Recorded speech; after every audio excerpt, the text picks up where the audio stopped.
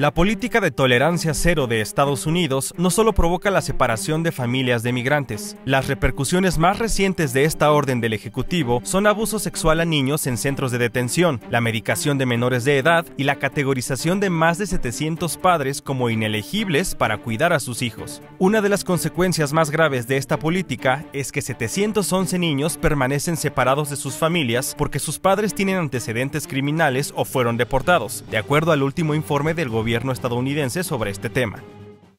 esta lógica de separación de un número tan alto de niños y niñas, que además ya cortó el plazo que, se le había dado el 26 de julio pasado, que era el plazo máximo que tenía por las, eh, los tribunales norteamericanos, y que esta decisión tramposa de decir que, son inelegibles, eh, digo es totalmente tramposa porque en realidad no tienen condiciones de devolverlos en los tiempos establecidos en el marco legal norteamericano. Además, muchos niños llevan más de un mes en los centros de detención, alejados de sus padres, y esto provoca diferentes reacciones psicológicas. Al principio de la detención, pues el niño lo que empieza es a llamar a, a sus padres porque es la única forma que conoce,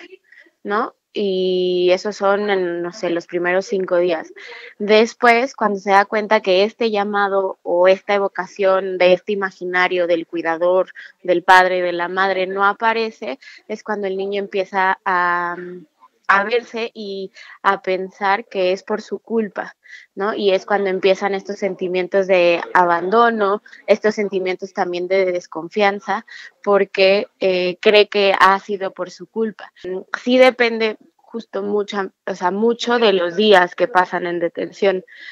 Hasta hace un par de semanas parecía que el gobierno estadounidense iba a reunificar la totalidad de familias migrantes. Trump firmó un decreto en el que se comprometía a frenar la separación de migrantes y la jueza Dana Sabrow ordenó que se reuniera a los menores de edad con sus padres en un periodo de 30 días. El tiempo impuesto por la jueza terminó el 26 de julio y una semana después, 711 infantes aún se encuentran bajo la custodia de las autoridades estadounidenses y mientras no tengan un ambiente seguro, eh, cuidado, en donde se les brinde la oportunidad de tomar ciertas decisiones, obviamente de acuerdo a su edad, y si estas decisiones son demasiado impuestas, son violentas, el niño va a ser inseguro y a lo mejor en un futuro esto repercutirá para el, en el adulto que llegará a ser. En el adolescente justamente eh, como hay tanta confusión en la identidad, si hay un igual un ambiente constante de violencia, de agresiones físicas, sexuales o verbales, si hay una ambivalencia por parte de los cuidadores o una ausencia de autoridad, no podrá eh, establecer relaciones de confianza adecuadas, porque el adolescente nunca sentirá que va a tener un lugar